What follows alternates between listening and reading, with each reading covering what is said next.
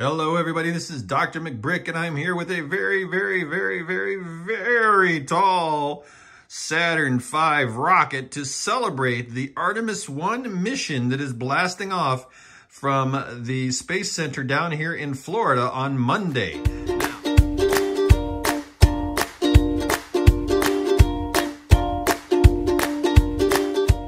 Talk about these rockets for a few minutes. And as you see, of course, I have the Saturn V. Now, LEGO has not done a proper um, kind of Artemis uh, um, SLS type of system as of yet. Now, they've got close, and um, but they haven't done as detailed a version as they have with the Saturn V. Now, the Saturn V, in its time, was the most powerful and is still, until the launch, the um, most powerful rocket ever known to humankind. Um, as a matter of fact, in 1967, I believe, is when they started um, testing this rocket to go up into space and see if it would actually work and everything like that.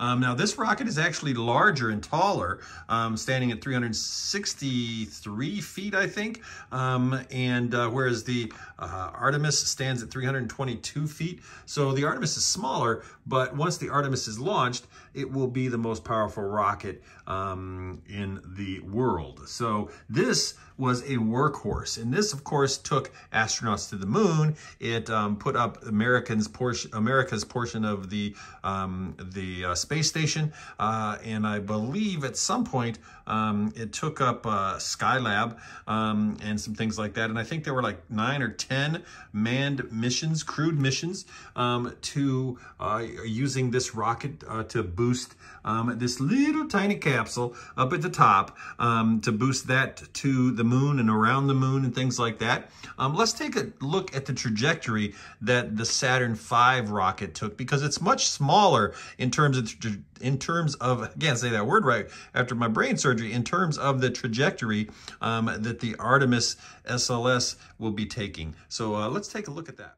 Okay, here is a graphic courtesy of the BBC. Now, as it says on the bottom there, it is not to scale. As a matter of fact, it's a little obscured, um, but you can see the Saturn V route to the moon, and you can see the various stages there from when it was launched at Cape Canaveral, Cape Kennedy, uh, then Cape Canaveral now, uh, here in Florida, and uh, you can see, this, see the stages of the rockets as they fell away, and how it came to the uh, lunar module, and how that circled around in that blue line uh, around the moon and landed landed, and then after it landed, it uh, took off again, and it came back around and went all the way to Earth, and um, then the, uh, um, the the the CM, the command module, was ready to uh, disengage, and then it landed in the ocean.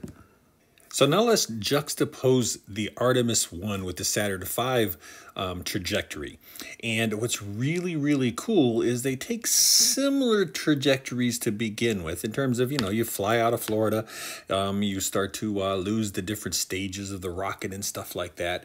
Um, but then where it differs is where you go into a distant retrograde orbit. And this is really to do some exploration as well as to make sure everything works. And so the Artemis rocket is actually going to be going a lot farther than the Saturn V ever did. And as a matter of fact, in um, the, uh, um, the, the second mission, it's going to take people out farther away from the moon and on the other side of the moon farther than um, any human has ever traveled. So um, it's really interesting um, to look at the two trajectories. Feel free to pause it, take a look at it, and thanks to NASA and the BBC for those pictures.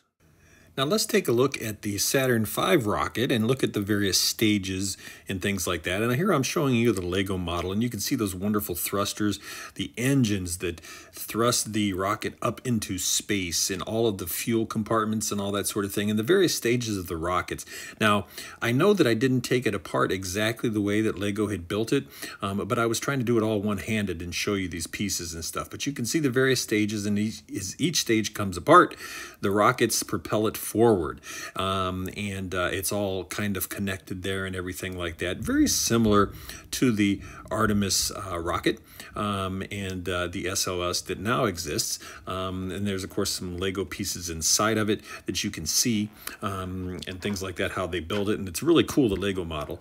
Again, this is another section that comes off and uh, also has its own rocket and thruster features and things like that on it.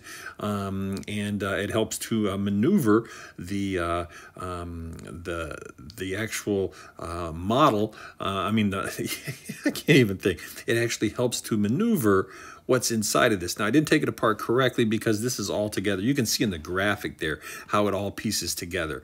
Um, and so those things, the uh, lunar module and the command module, the command module stays up in um, orbit while the lunar module goes down um, onto the moon, lands on the moon. Uh, let's pretend this is the moon here. We better take the astronauts off because as far as we know, there aren't people on the moon at the moment. Um, and anyway, and so it did, so it landed there on the moon um, and, uh, and uh, touched down and everything like that. Now, when it's time for it to take off and go back to the command module, um, we, uh, oh, what's happened? Well, oh, oh, well, it rolled off. Anyway, um, what happens is that the gray part um, that you see here uh, basically lifts off and goes up with its own little jets um, up to the command module up above the moon, um, orbiting there, and then they connect and dock, and then that um, is uh, is what uh, um, starts to head home by the way. Uh, and that's uh, what heads home is that command module. And uh, the astronauts uh, prepare to uh, take that. And then finally, the command module comes in at, oh, I don't know, probably 25,000 miles per hour, um, lands in the ocean as automatic chutes come open, lands in the Pacific, and uh, Artemis will be landing in the Pacific as well. So we look at this and we find that this uh, model came with two little astronauts. Now, if you look at the scale, it's a little, they're a little bit smaller. Humans would be a little bit smaller than that.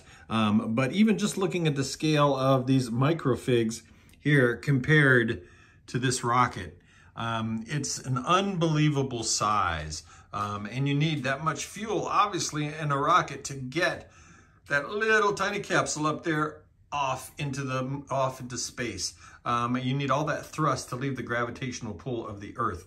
But uh, when we look down here, we see how small it really is. And if any of you have been to the Florida um, Cape uh, Canaveral, uh, formerly Cape Kennedy Space Center, um, and you see uh, in museums and things um, pictures of this rocket, as well as seeing a Saturn V rocket, um, you will see how humongous these things are. The pictures do not do them justice in terms of the size of these rockets. So with that, please like this video and subscribe if you haven't. It's totally free, cost you nothing. Hit that bell um, and check out my almost 400 videos that I have on my Lego channel if you're interested in Lego. And, uh, you know, from MOCs to cities, uh, I had an amazing city and theme park, things like that, uh, product reviews, a bunch of stuff like that. Um, but check it out. I appreciate you stopping by. Um, and uh, with that said, I hope that everything with the uh, Artemis and the